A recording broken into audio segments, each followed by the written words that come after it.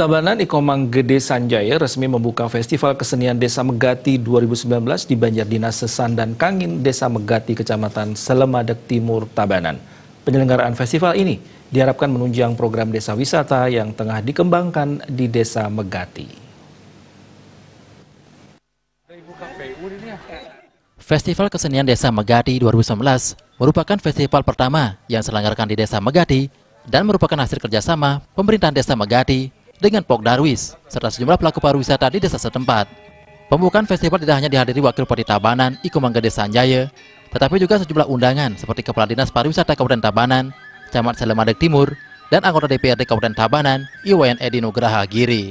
Dalam sambutannya, Wakil Bupati Tabanan, Iko Manggede Sanjaya, mengapresiasi upaya masyarakat dalam membangun desanya melalui pengembangan desa wisata berbasis alam dan budaya. Hal ini sesuai dengan visi Gubernur Bali Nangun Ketilo ke Bali dan Modo Tabanan Serasi. Ia juga berpesan agar masyarakat desa Megati tetap menjaga alam dan budaya sebagai modal utama dalam pengembangan pariwisata di Bali.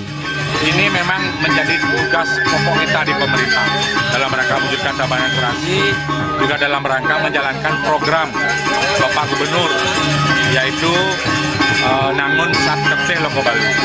Begitu juga uh, membangun visi misi cita-cita Bapak Presiden Bapak Jokowi yaitu membangun dari pinggiran. Yang dimaksud membangun dari pinggiran desa ini. Kalau sekarang kalau semua membangun desanya sendiri seperti ada desa wisata ini luar biasa.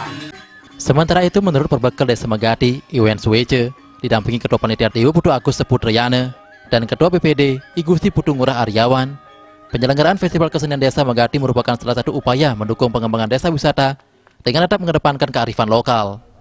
Di samping itu, festival yang diikuti peserta dari 9 desa dinas dan 5 desa adat sedesa Megati ini diharapkan bisa menyaring bibit-bibit generasi muda yang akan melestarikan seni budaya di desa Megati. Dengan, dengan adanya alam yang sudah kita miliki, kita tambah dengan ya budaya, kemudian uh, mempertahankan kearifan lokal yang kita miliki di desa Megati.